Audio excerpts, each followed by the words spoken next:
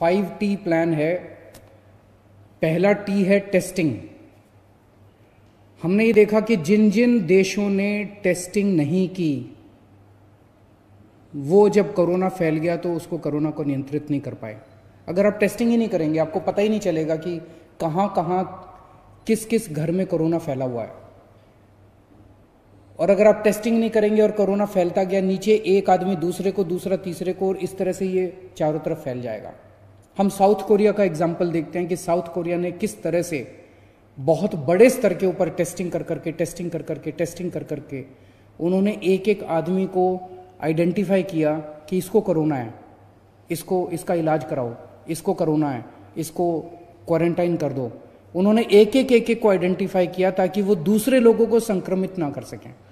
अगर हम टेस्टिंग नहीं करेंगे, हमें पता ही नहीं चलेगा कि कौन संक्रमित हो गया, कौन इन्फेक्ट हो गया और कौन इन्फेक्ट नहीं हुआ। इसको अब हम बहुत बड़े स्तर के ऊपर साउथ कोरिया की तरह करने जा रहे हैं।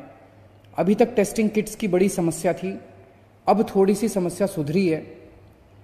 हमने ऑलरेडी पचास हज़ार लोगों के टेस्ट के लिए ऑर्डर किया हुआ है और वो ऑर्डर आने चालू हो गए हैं।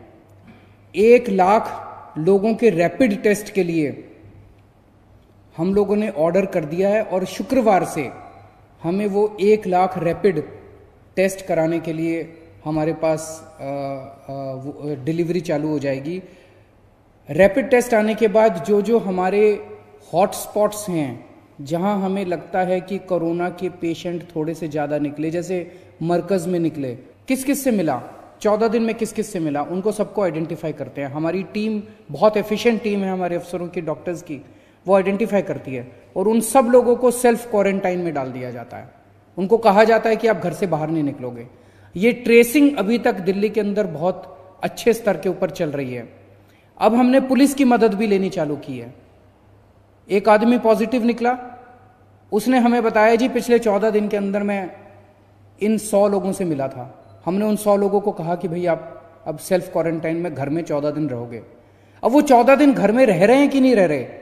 इसके लिए हम पुलिस की मदद लेते हैं। पुलिस को हमने अभी तक सत्ताईस हज़ार सात सौ दो लोगों के फ़ोन नंबर दिए हैं। ये पता करने के लिए कि वो जो सेल्फ क्वारंटाइन वाले हैं, वो घर में रह रहे हैं कि नहीं रह रहे? उनके फ़ोन से पता चल जाता है कि फ़ोन का मूवमेंट तो नहीं हो रहा। वो घर में रह रहे हैं कि नहीं रह रहे? उसके ऊपर फिर मॉनिटरिंग कर रहे हैं। इसके साथ साथ हम ये भी पता कर रहे हैं कि मरकज के जो लोग निकले थे, लगभग 2000 फ़ोन नंबर आज हम पुलिस को देने वाले हैं। कि मरकज के अंदर जितने लोग थे, वो कहीं आसपास बाहर के एरिया में तो नहीं घूमे थे। अगर वो बाहर के एरिया में घूमे थे और वो कहाँ कहाँ गए थे, वो पता चलेगा तो उन एरियाज़ को सील कर दिया जाएगा। तो ट्रेसिंग के बेसिस पे हम सेल्फ क्वारंटाइन करेंगे सीलिंग करेंगे और मॉनिटरिंग करेंगे कि लोग सेल्फ क्वारंटाइन फॉलो कर रहे हैं कि नहीं कर रहे हमारा तीसरा टी है ट्रीटमेंट जो बीमार हो जाता है, फिर उसका इलाज कराना है हमें। अभी तक दिल्ली में लगभग 525 टोटल कोरोना के पॉजिटिव केस आए हैं। हमने इस टाइम ऑलरेडी लगभग तीन हज़ार बेड्स की क्षमता तैयार कर ली है। एल हॉस्पिटल हमने पूरी तरह से कोरोना हॉस्पिटल डिक्लेयर कर दिया, अब वहाँ पे कोई इलाज नहीं हो रहा। है डेढ़ हज़ार बेड वहाँ पे हैं। वहाँ पे केवल और केवल कोरोना वालों का इलाज होगा। जीबी पंत हॉस्पिटल में 500 बेड हैं। उसको हमने कोरोना हॉस्पिटल डिक्लेयर कर दिया, वहाँ पे अब किसी का इलाज नहीं हो रहा। है Rajiv Gandhi super speciality hospital में साढ़े चार सौ बेड्स हैं। उसको हमने पूरी तरह से corona bed, corona hospital declare कर दिया। वहाँ पे अब किसी का इलाज नहीं हो रहा। है तो इस तरह से 2450 बेड्स सरकारी क्षेत्र में हैं। और 400 बेड्स हमने प्राइवेट हॉस्पिटल्स के अंदर कोविड डिक्लेयर कर दिए हैं। इसमें मैक्स साकेत का ई ब्लॉक पूरी तरह से कोविड डिक्लेयर कर दिया गया है, जहाँ पे 318 बेड्स हैं। अपोलो के 50 बेड्स कोविड डिक्लेयर कर दिए गए वहाँ पे और कोई ट्रीटमेंट नहीं होगा। गंगाराम कॉलमेट के 42 बेड्स, वो अलग बिल्कुल बिल्डिंग है उनकी, उसको हमने कोरोना के लिए डिक्लेयर कर दिया, वहाँ और कोई ट्रीटमेंट नहीं होगा। ये सारे मिला के उनतीस बेड्स बनते हैं। आज दिल्ली में 525 पेशेंट्स हैं। उनतीस बेड्स हमारे कोरोना के लिए अलग से ईयर मार्क कर दिए गए तो लगभग अगर तीन हज़ार तक पेशेंट्स होते हैं तो हमारे पास हॉस्पिटल्स के अंदर बेड्स हैं। तीन हज़ार क्रॉस कर जाता है तो हम जीटीबी हॉस्पिटल को पूरी तरह से कोरोना डिक्लेयर कर देंगे। जीटीबी में हमारे पास डेढ़ हज़ार बेड्स हैं। तो साढ़े चार हज़ार बेड्स हो जाएँगे।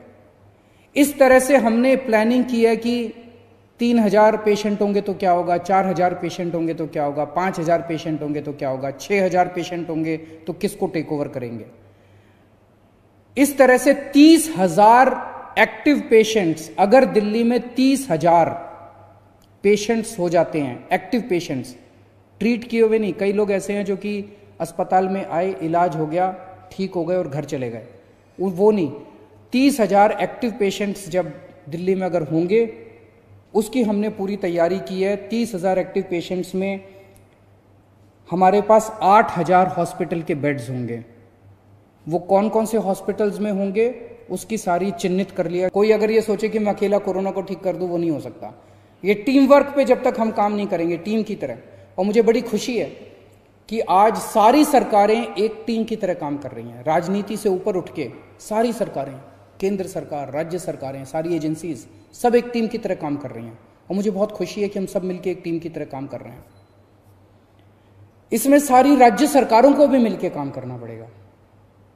अगर हम दिल्ली के लोग यहाँ बैठ के सोचें कि अपने को दिल्ली दिल्ली का सोचना है, महाराष्ट्र में कोई बीमार पड़ रहा है तो अपने को चिंता करने की ज़रूरत नहीं है। ऐसा नहीं है। महाराष्ट्र में अगर कोई बीमार है और जिस दिन लॉकडाउन खुला और वो दिल्ली आ गया तो फिर अपने दिल्ली में फैल जाएगा। दिल्ली में कोई बीमार है और कल लॉकडाउन खुलेगा, वो पश्चिम बंगाल चला गया तो वहाँ पे फैल जाएगा। तो अपने सारे सरकारों को और सारे देश के लोगों को एक परिवार की तरह एकजुट होकर, एक टीम की तरह काम करना पड़ेगा। और सारी राज्य सरकारों को हमें आपस में एक दूसरे से सीखना भी है। मैं, मुझे बड़ी खुशी होती है, मैं देखता हूँ कि तमिलनाडु में ये हो गया, महाराष्ट्र के अंदर ये हो गया, केरला में ये हो गया, पश्चिम बंगाल में ये हो गया, राजस्थान में ये हो गया, चीज़ें सही चल रही हैं। इसकी ज़िम्मेदारी मेरी है। दिल्ली के अंदर 24 घंटे मोमेंट टू मोमेंट ट्रैक करना कि जो पूरा हमने प्लान बनाया, वो प्लान उसके हिसाब से चल रहा है, इसकी ज़िम्मेदारी मेरी है। वो 24 घंटे मैं ट्रैकिंग कर रहा हूँ, मैं मॉनिटर कर रहा हूँ और मैं इस